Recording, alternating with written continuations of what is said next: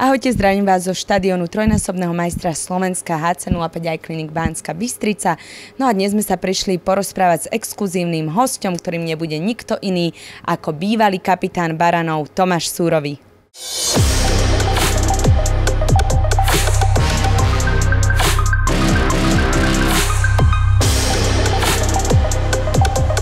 Ahojte, dobrý deň. Ahoj Tomáš, tak eh, v prvom rade môžeme už tvoju kariéru považovať za, za uzavretú, už, už si oficiálne e, z hokeja von? Áno, tak už som sa rozhodol vlastne vtedy e, v auguste, takže je to už definitívne a momentálne sa nechystám na návrat, čiže už je tam konečná. Prečo sa takto rozhodol? Lebo je jasné, že pokračovať si ešte mohol, pravdepodobne a boli aj ponuky z iných mústiev, minimálne prvú ligu si hrať bez problémov mohol.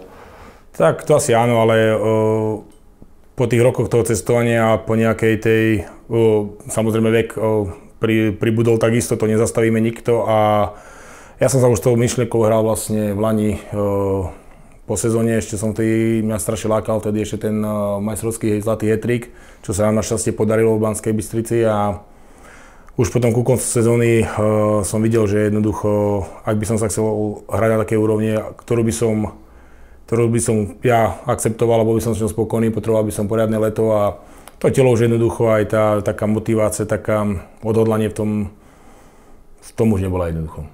A ty si cítil, že ten hokej sa zrýchlil? Cítil si, že už sám od seba nemôže očakávať na tom lade to, čo by si chcel? Nie, poviem úprimne, myslím si, že to by som ešte dal, ale jednoducho, ja neviem, tak som k tomu prišiel, k tomu rozhodnutiu tak postupne a jednoducho som si to povedal, že asi ten správny čas odísť. Lepšie ako nebyť tam 100% a vlastne, ako sa to hovorí, hokejovo plantať sa tam. Tomáš, mal si teraz v podstate prvé leto po mnohých rokoch, kedy si ho mal voľné a neabsolvoval si tú prípravu, takže môžeš teraz odstupom času zhodnotiť, že toto rozhodnutie bolo správne a hokej ti nechýba? Musím povedať, že hokej ako taký zatiaľ mi nechýba. Chýba mi e, ten život hokejový, tá kabína, tí chalani a samozrejme hm, proste ten život okolo toho hokejového musa, to mi chýba, ale, ale momentálne mi ten hokej nechýba a chodím sa len pozerať. Čomu sa budeš teraz venovať? Tak ako každý, nejaké, zobral som si nejaký taký, ako sa hovorí, reset, trošku som si oddychol, ale už je asi čas sa pohnúť ďalej a mať nejaké nové výzvy v tom živote, niečo sa snažiť dosiahnuť a zabehol som do nejakých podnikateľských aktivít, snažím sa, snažím sa angažovať v nejakom uhorkovom nápoje a nejako si nájsť tú cestu v tom živote, takže tomu sa momentálne venujem. Podnikanie, nie je to, nie je to riskantné, lebo veľa chalanov, čo skončilo s hokejom a mňa sa stále pýtajú ľudia, prečo som nešiel do podnikania, ja som mal obrovský rešpekt voči tomu, lebo veľa chalanov zle dopadlo, keď sa začalo s podnikaním. To je, to je veľká pravda a treba byť obozretný, ale objavil sa tu jeden projekt s vlastne s jedným zdravým nápojom eh, z uhoriek a ja tomu strašne verím, takže tomu som sa momentálne začal venovať a tam momentálne si snažím nájsť tú cestu si toho uplatnenia ako, ako človeka ako takého. Čiže tam sa vidíš ako podnikateľ teraz po tej hokejovej kariére, nemôžeme od teba očakávať, že by sa vrátil do hokeju ako tréner napríklad? Myslím si, že to sa stane určite. Kedy to neviem, ale samozrejme ponuky z klubu boli tam sa ku mne zachovali veľmi korektne. Z Banskej Bystrice? Áno, z Banskej Bystrice samozrejme. Pán Kolán mi povedal, mám si rozmyslieť, mám, ako si poviem, tak bude tak v odzovkách, že či budem chcieť trénovať pri žiakoch najprv či pri mústve Ačku, alebo... Ale ja vravím, na všetko príde ten správny čas a takisto z pohľadu trénera. Tam treba vzdelávanie. To neznamená, keď bol niekto dobrý hráč, alebo nebol dobrý hráč, že je do, nemôže byť tréner, môže byť tréner. Čiže ja by som chcel tomu najprv pričuchnúť, ale ešte som sa nerozhodol, či pri mládeži alebo pri senioroch. Bavil si sa aj s Vladom Orsagom alebo Rišom Zedníkom eh, ohľadom trénerskej kariéry, lebo však vieme, že oni teda trénovali Banskú Bystricu, hral si aj pod ich vedením? Ešte sme sa o tom nebavili, alebo s nikým som sa o tom ešte nebavil, ale samozrejme to, to trénerstvo, vrajím, sa zopakujem, treba sa vzdelávať, treba mať preto nadšenie a myslím si, že keď ten čas príde a dostane sa do tej fázy, že, že to budem chcieť robiť, tak to budem robiť, ale nedá sa to robiť na 50%, čiže momentálne zatiaľ si dávam čas. Čo sa týka hokejovej kariéry, možno je ľahko zabudnúť, že ty si hral NHL, ty si hral AHL, hral si švédsku najvyššiu súťaž, hral si KHL dlhé roky a končil si ako trojnásobný majster Slovenska tu v Banskej Bystrici. Je úplne jasné, že tých skúseností by si mohol rozdávať. Je niečo, čo vyčnieva z tej hokejovej kariéry pre teba ako nejaký highlight, alebo na druhej Tie strane... momenty. Alebo na druhej strane niečo, čo by si chcel zmeniť?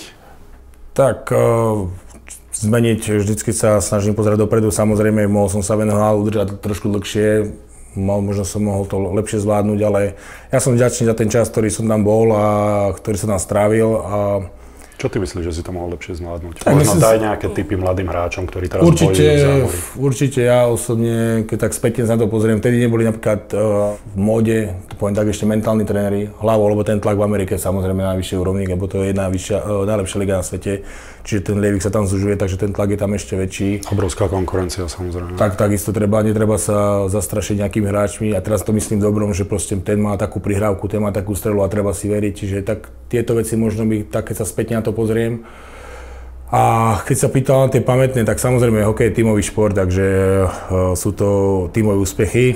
Um, či to bolo v 18 ročných, keď sme boli tretia na majstrovách sveta, samozrejme tri bystrické tituly uh, na konci kariéry a samozrejme rok 2012, keď sme boli strieborní na majstrovách sveta, no ale ako každý hráč sa chce individuálne niekde dostať, takže určite mňa teší, že som dostal do NHL a že som tam dal góla. To bola pre mňa také tie, keď som bol tým mladý, tie krok po kroku draft, dostať sa na taký zápas v NHL, samozrejme potom dať ten gól, takže z individuálneho, individuálneho hľadiska tieto, tieto body by som vy, vytkol a samozrejme, ako som spomínal, tie tímové úspechy, lebo bez toho ten hokej sa nedá hrať. Skúsme k tej reprezentácii, pretože ty si zažil množstvo reprezentačných mustiev, zažil si množstvo reprezentačných trénerov, od Juliusa Šuplera až po Krega Remziho. Súhlasí s tým nastavením, ako je to teraz, e, ktoré Miroša tam tlačí a to je zahraničný tréner, kanadský tréner, pokiaľ, tak ako si sám povedal, sa naši tréneri trošku popri ňom dovzdelajú? Presne ako si povedal, ja by som vôbec nerozlišoval, či je to zahraničný alebo domáci tréner, ale samozrejme ten Greg prišiel, prišiel s obrovskými skúsenosťami z ten NHL a Zažil si ho, ako som hovoril, takže ty hovoríš z vlastnej skúsenosti. Áno, teraz hovorím z vlastnej skúsenosti, čo sa týka reprezentácie, tam ten pokoj, tá, ten nadhľad na, situá- na tými stresujúcimi situáciami je obrovský. A presne ako si spomenul, tí naši mladí tréneri sa pri ňom môžu učiť a myslím si, že ten rôčik 2, keď tu ešte ostane, to už uh, bude len a len dobré a už Myslím že je správne aj v Extralige Slovenskej, aj v tých juniorských reprezentáciách sú mladí tréneri, hráči, ktorí nedávno skončili s hokejom a keď sa takto priučia tomuto remeslu a zmodernizujú to myslenie, ktorým idú, tak si myslím, že to môže byť len dobré, že ten Greg ešte rok ostane a potom už prídu aj, myslím, ako by som povedal, domáce produkty hra, trénerov. Konec koncov to môžeš porovnať uh, zahraničného a domáceho trénera práve aj spôsobenia Banskej Bystrice, keďže si trénoval pod Vladom Orsagom a potom pod Denon Seamanom, ktorý bol kanadský tréner. Ako to vieš porovnať, čo ktorý tréner prinášal do toho mužstva?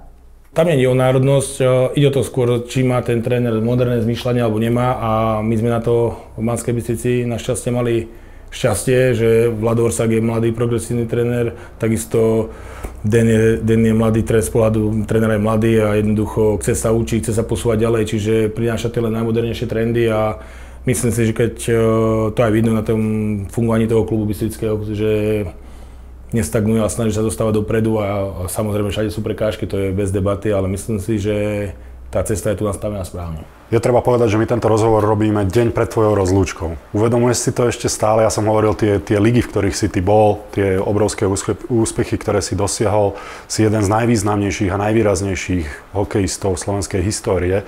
Uvedomuješ si zajtra je ten deň, kedy sa to oficiálne všetko skončí a ako očakávaš, že tá rozlúčka bude prebiehať? Budú slzy možno, bude, budú nejaké emócie, pretože to asi k tomu patrí.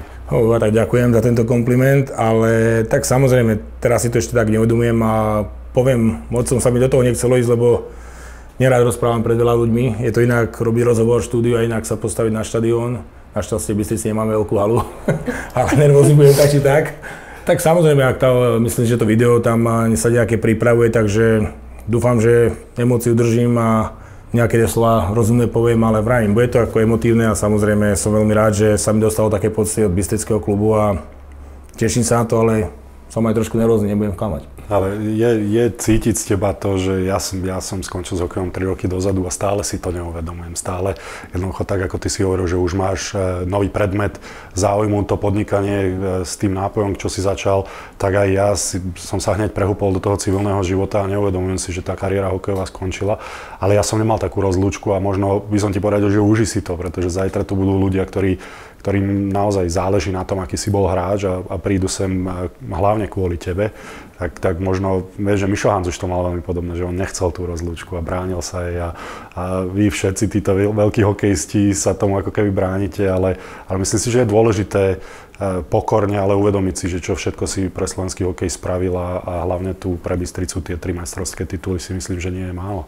Tak áno, tak uh, Pravím, som veľmi poďačný tomu klubu, že, to, že mi to pripravil a že to chceli, aby sa to uskutočnilo. Ja som sa tomu bránil, priznám sa, ale jednoducho som podstený tým a sám neviem, čo o tom mám očakávať. Samozrejme, hokej sa hrá pre ľudí, takže verím, že sa prídu aký pozrieť aj na, na, na moju rozlúčku a uh, pôvodný návrh bol nejaký zápas, nejaké stredanie, ale do toho sa mi nechcelo ísť, takže ja už budem nervózny aj s týmto príhovorom zajtrajším, takže Takže dúfam, že to ako zvládnem a ak budú slzy, tak budú hádam až po.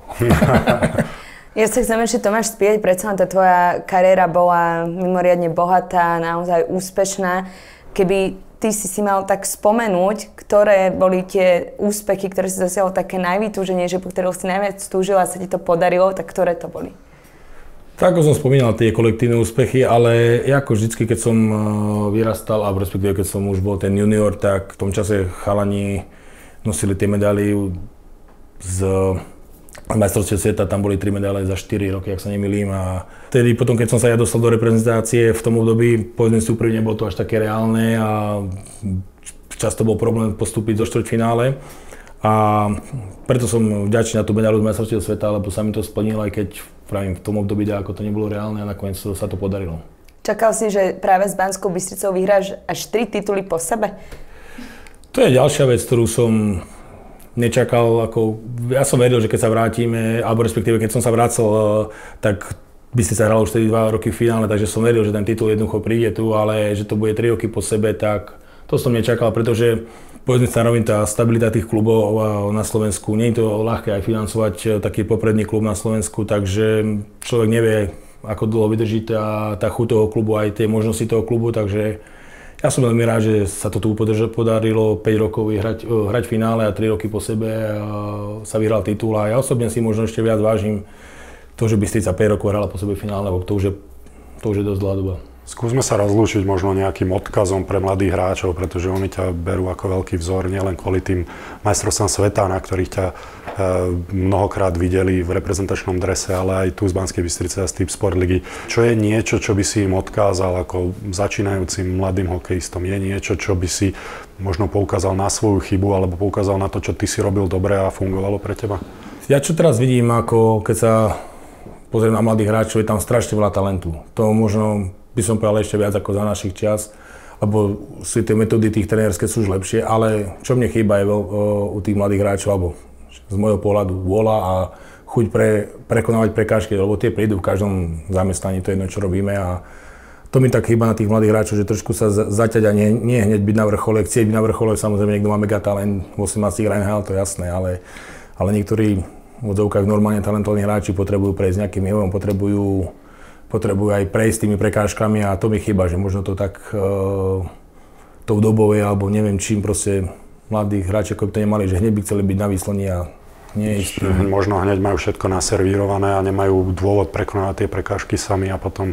No ale potom, ja by som to povedal tak, že áno, len že potom sa nemôžeme, uh, ja to vidím, ako ja nie som, priznám sa, nie som zastanca napríklad tých povinných kvót pre mladých hráčov, pretože Osobne si myslím, že to chýba tá, tá pre, prerazenie tých mladých hráčov, tá vôľa sa im preraziť a jednoducho, to by som od nich chcel viac, ako keby som bol tréner, aby sa pre, prejavili, lebo ten talent, ja vidím obrovský u, tých, u tej šikovnej ruky a korčovania, to je úplne niekde inde už teraz.